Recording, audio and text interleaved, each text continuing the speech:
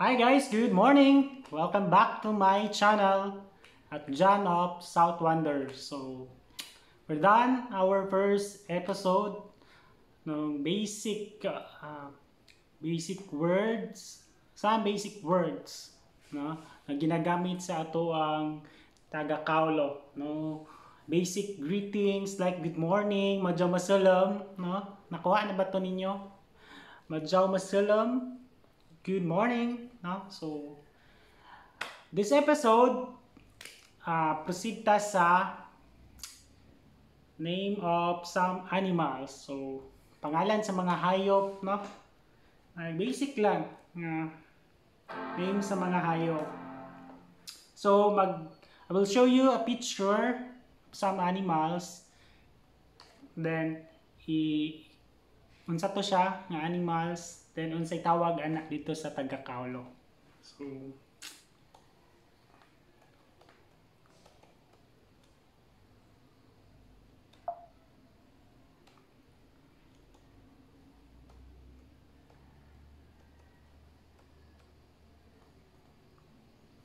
So, mag-open sa ko og laptop.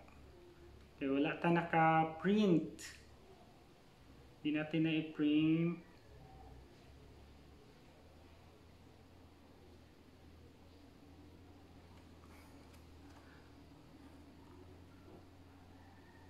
Ready na ba ta? Ready na ba mo makita, no? So, this one, maklara ba? Is, wait.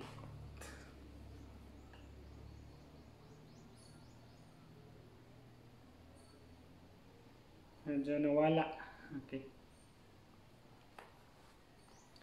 Okay. Uh, this one is horse. A horse or kabayo.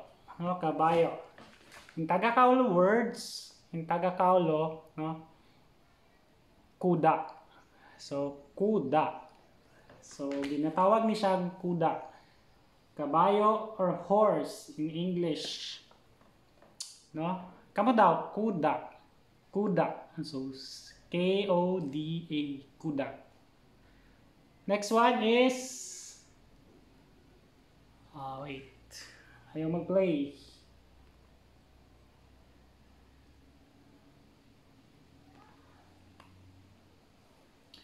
This one is a dog. A dog. So, ero. Aso, no? Sa amua, in taga kaulo, ido. So, oni siya ang ido. Ido. Ano daw? Ido. Ido, ero, or aso. Or a dog. Next one is okay dog. Next one is horse. What's not? This one is a cat. No cat.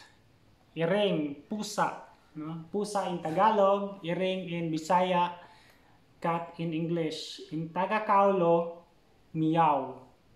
So we call this meow. Meow. So, meow. Meow, pusa, iring, a cat. This one is a pig. Pig. Okay. Pig, baboy, baboy in Taga-Kaulo is tako. No? Tako. Okay, this one is taco. Next one is a bird. So, a bird. In Bisaya, ibo, uh, in Bisaya is langga, uh, in Tagalog is ibon, no? So, sa Taga-Kaulo is langgam. So, langgam. So, sa Tagalog, ang langgam sa ilaha is gakamang pa sa tuan nilupad na. So, sa Taga-Kaulo, langgam is a bird, no? So, dagan na siya. Ang bird manggod sa taga Kaulo, ang langgam manggod is general term na siya. General term sa mga bird, no? So, naapod na siya yung mga katong lain-lain po na siya tawag sa different types of bird like maya, no? Maya, galo-galo, kasiwitan, no? Limokon, no? Different types of bird. So sa taga Kaulo, napod na siya lain-lain nga pangalan. So sa kinatibukan, ginatawag siyang langgam or a bird in taga in English. This one is ants. So sa Tagalog is langgam. No? Ants. Sa Amoa, lamigas. No? Lamigas. Lain-lain po ni sila ang ants, lain-lain po na siya og ah, tawag sa taga Kaulo. Like na siya yung mga lain-lain nga species pod, huh? like amantik, lamigas, tigasaw. So tigasaw which is yung mga masakit yung brown, something like that. Amantik yung black ants, no? Ants sa taga Kaulo is amantik. Or napod isa uh, isgo. Isgo yun yung black ants na nagkaano sa mga dingding natin, no? Yung amantik, yun yung black ants sa gubat, yung malalaki, no? This one is a dragonfly. Alindanaw, tama ba ako? A dragonfly. Yung taga Kaulo is amamasa. Amamasa. So, amamasa na siya. Next one is a mosquito. So, lamok. A mosquito. Yung taga Kaulo, kinatawag naman ni siya nga tagnok. This one is a tagnok. Next one is a monkey. Okay? Monkey. So, unggoy. Sa taga Kaulo, tinatawag naman ni siyang ubal. Ubal. Ubal. Okay? So, monkey, unggoy, ubal. This one is your friend, si Bess. Huh? Snake. Snake or ahas. In taga Kaulo, we call this one as ulod. No? Dapat di siya ilain-lain nga name. No? In general term, ulod or ahas. No? Dapat tayo ginatawag na cobra, na ganyan. Sawa.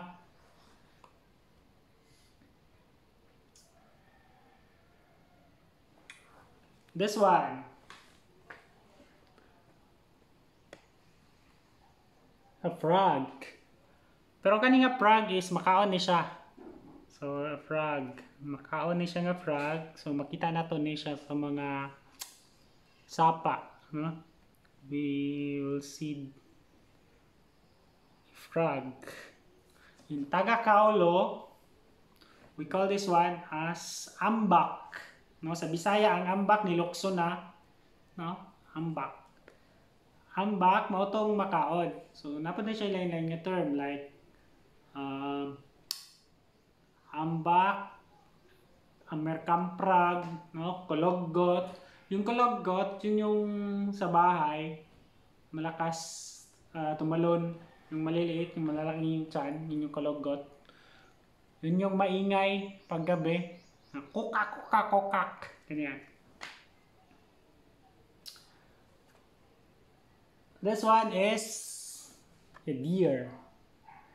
In taga Kaulo, we call this one uh, suwagan. Suwagan. Okay? suwagan or a deer. This one is baboy ramo or wild pig. So we call this one usa. Usa. So baboy ramo, usa, or a wild pig. This one is centipede. Ah, di ko alam sa Tagalog nito. Centipede or in Taga-Kaulo is ulipan. Ulipan. So, centipede. Ay, nawala naman. Wait, nawala. Okay. This one is a chicken. A chicken or a hen. Huh? Chicken. Lain-lain po din sila term in chicken. So, sa taga-kaulo, ang babaeng manok is limungaan or dumalaga. No? Dumalaga. Yun yung babaeng manok. Or female chicken. Dumalaga. The, yung lalaki, male chicken, we call this one lumansad. Lumansad. No? Lumansad. That was a female, a male. A chicken or a roaster. Yung hen is dumalaga, no? Dumalaga or minsa.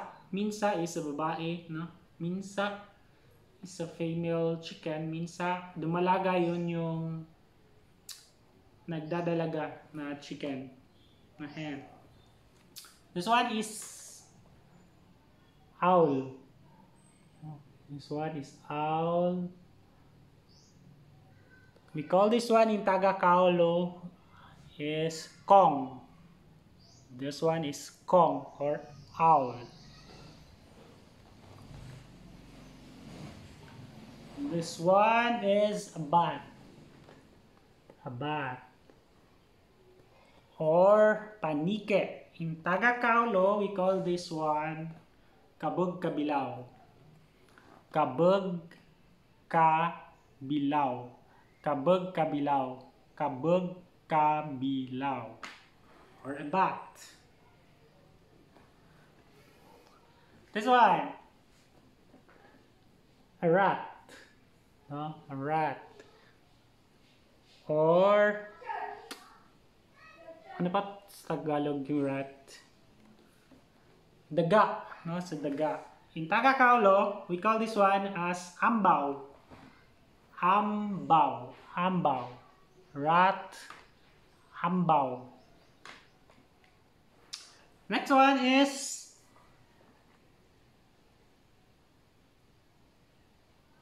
uh, cockroach. Cockroach or in Taga-Kaulo, tanga. Yung spelling niya is tanga. But we pronounce it tanga.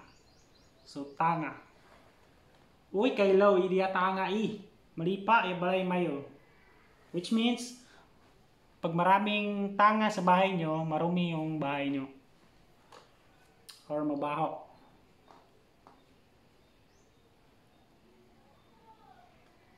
So, that's it. Yun lang muna yung mai-share ko sa inyo. And some basic animals, common animals na makikita natin surround surroundings, no? So, some basic. May iba kasing animals na hindi ko nasali dito like carabao, in Taga-Kaulo, carabao, no? Baka, baka, ganyan din yung tawag sa amin. Yung maraming mga similarities. So next time, ang ato ang pong i-share is about uh, plants or puno, fruits, ganyan. I-share ko sa inyo after. So from this time, kuan lang, kaning mga animals lang, pests, or something like that, no? So, matadong na ka mo maglongsan. So, ano gani iya kuda? Kuda is a horse, no? Ambaw is a rat. Chicken is a dumalaga, is a female. Yung dumalaga or minsa is a female chicken. Or Uh, lumansad is a male chicken or a rooster. Uh, langgam is ibon or a bird. Baboy is a pig. Uh, tako. Okay? Pusa, hiring, meow. Or a cat. Meow, cat. In Tagalog, meow. In English is cat. Kuda, in Tagalog, in English is a horse. Kuda. Ero, ido, or a dog. May nakalimutan pa ba tayo? Okay.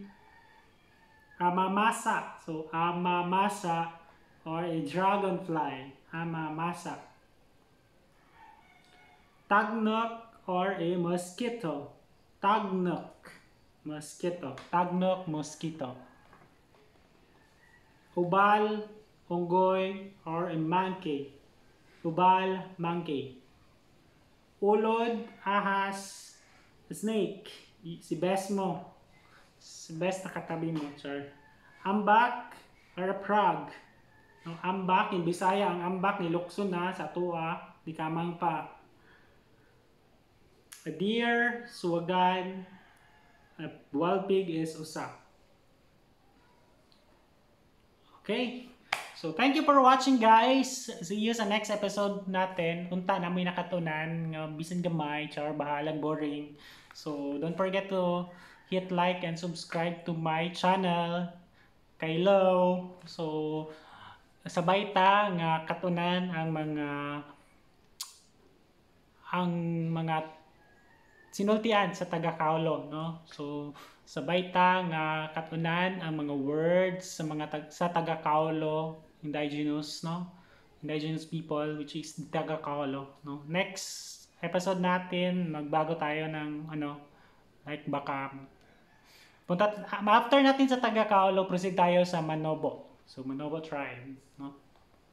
Tapos i-compare natin yung kakaibahan nila. Like for example, uh, ganito. In Manobo, wayag. So, in Tagakaulo, tubig. So, similarities ng nila is wayag, tubig. No? Sa Tagalog, tubig is water. No? In Tagakaulo, tubig is water. In Manobo, wayag is water. So, wayag. Mag-igib mag-igib ako sa tu sa wayag. So mag-igib ako sa wayag which means kukuha siya ng water, no? In Tagakaulo, sumalok ako sa sumalok ako at tubig. Sumalok ako at tubig or kukuha siya ng water, no? Kukuha siya ng water. Sumalok ako sa tubig. Or magigib ako sa wayag. Okay? San ka doton? In Manobo, saan ka doton? Uh, San ka galing? No? Aing kao lekat. No? So, thank you for watching guys. Unta na mo nakatunan. See you next time around. Bye-bye.